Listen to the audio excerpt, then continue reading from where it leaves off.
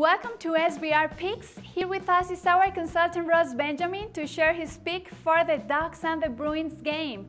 Ross, you mentioned in your article today on this game that the Bruins have been a bit inconsistent offensively this season.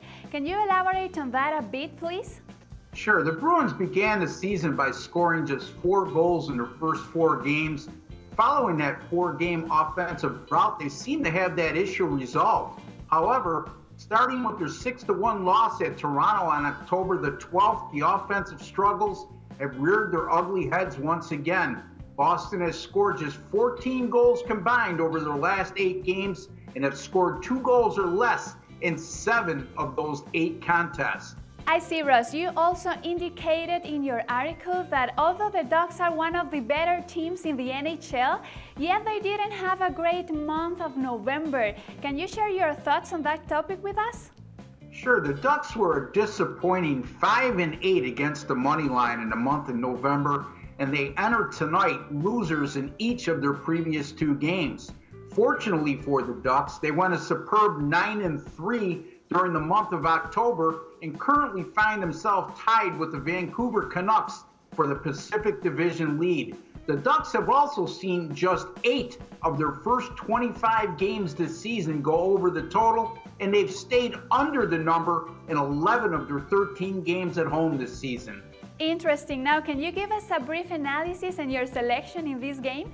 Well, the Bruins have scored two goals or less in each of their previous two games, while the Ducks are coming off a 6 4 loss to the San Jose Sharks in their previous contest. Those three results makes for a profitable money line betting system. Anytime you have a team like Boston that scored two goals or less in each of their previous two games, and they're facing an opponent like Anaheim that allowed six goals or more in their previous game, that team has gone 71 and 39 against the money line during the past five seasons. That's good for 64.5%, favoring the money line road underdog. We're going to take the Boston Bruins plus 125 over the Anaheim Ducks tonight in the NHL.